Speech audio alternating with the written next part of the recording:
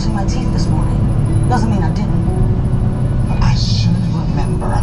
That was an important moment. Only in retrospect. When you pressed that button, it was just another day. I gotta be able to trust myself and my instinct. That's the only way I'm gonna do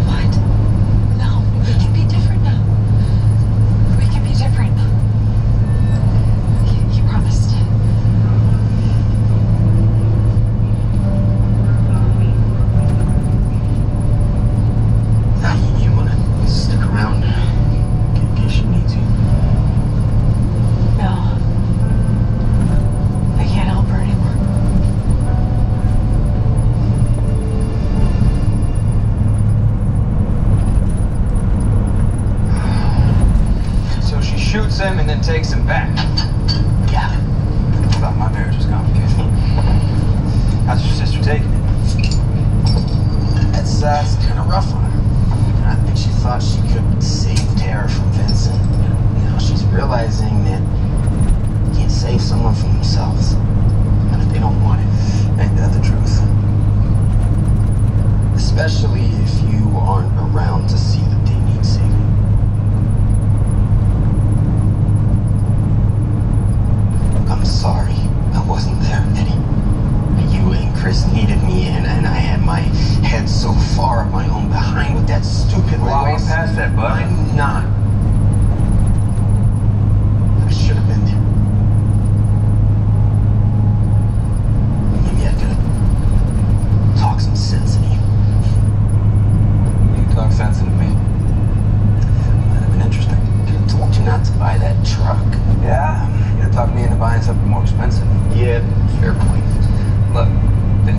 out of hand for both of us. Beat yourself up about it. Why? Because uh,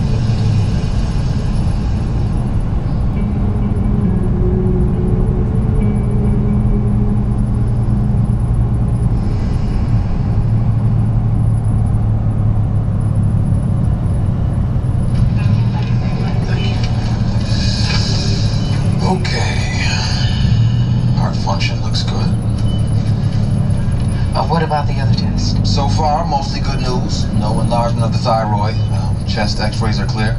Your lungs don't appear to have suffered any ill effects from the exposure. What about the blood tests? Kidney and thyroid function are normal. You said mostly? The urine tests show trace amounts of cobalt. Not high, just elevated. Liver enzymes are also not where I'd like them to be, but I'm not about to sound any alarms yet. Yeah, but you're concerned. I'm cautious by nature. Good. So we won't worry unless you tell us there's something to worry about. What can I go home? We'll probably send you home later today. You can even go back to work. But we will need to run that battery of tests once a week for the next six weeks until we are sure there are no long-term effects. So I'll see you